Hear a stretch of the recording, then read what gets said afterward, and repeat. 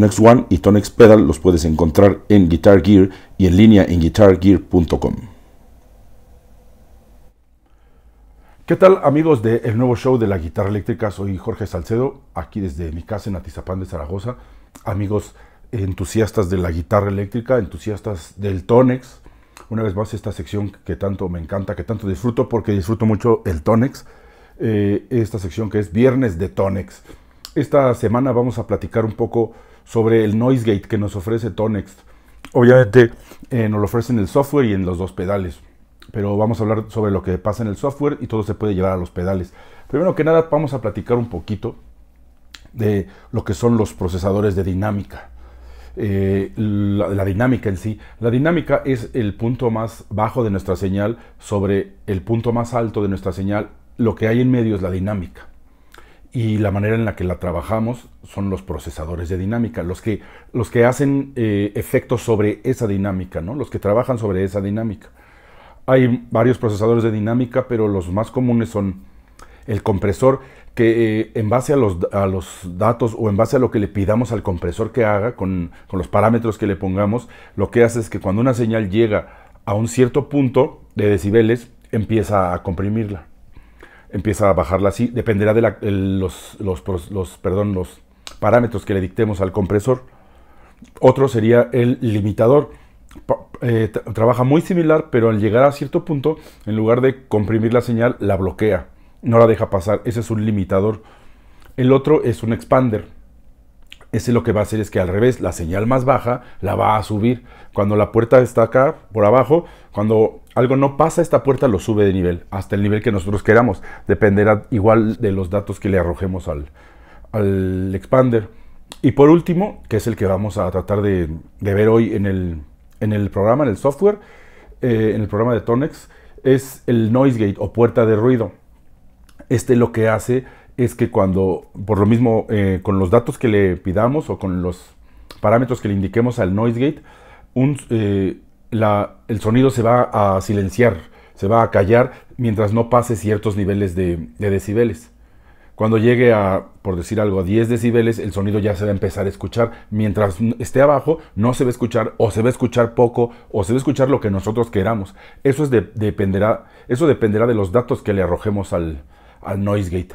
Para eso vamos a pasar ahora sí ya en materia al software de Tonex y explicarles un poquito los tres este, potenciómetros que trae y cómo trabajan sobre nuestro noise gate. Ahorita los veo ahí. Bueno, ya estamos aquí en la, en la PC. Vamos a aprender y apagar este para saber dónde estamos grabando. Em, vamos a, abrir el Noise Gate, que es aplicando este botón. Aquí está en blanco lo que dice Noise Gate, porque quiere decir que no estamos viendo las características. Al, apretarlo ya se prenden estas tres, que son tres hold gatillo, release, que es cuando suelta la puerta, y depth, que significa profundidad. Eh, vamos a subir el volumen a la guitarra ahí se, alcanza a meter una ligera tierra. Esto se va a quitar con la puerta. Ahí ya se quitó, pero cualquier movimiento que hagamos se va a meter luego luego. Eso quiere decir que la puerta está muy abajo. Aquí el threshold, que es el gatillo, se nos, se nos muestra en, en decibeles. Por ejemplo, a unos menos 50, por llamar algo así. Ya no se mete nada hasta que tocamos. Ahora, el release es que tanto quieres que cuando dejes de tocar se apague o tarde en, restablecerse la señal. O sea, se apaga luego, luego, pero eh, se vuelve, se, cierra la puerta luego, luego, perdón. Y con el release tarda en, en cerrarse otra vez.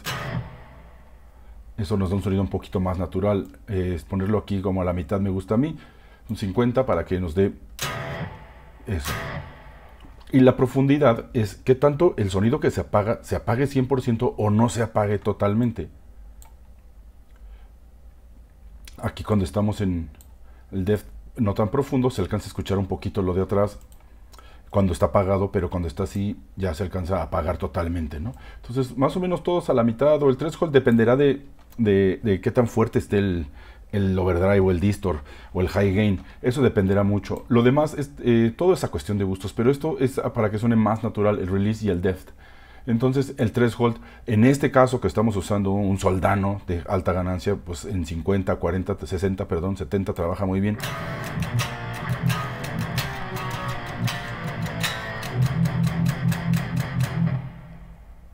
Y se tarda en, volverse a cerrar la puerta. Eso sería todo el capítulo de hoy. Estuvimos platicando sobre Noise Gate aquí en el nuevo show de la guitarra eléctrica. Quiero agradecer mucho a Guitar Gear. Quiero agradecer mucho a todos los que eh, nos ven, a todos los que nos escriben. Muchísimas gracias y nos vemos el próximo viernes en Viernes de Tonex.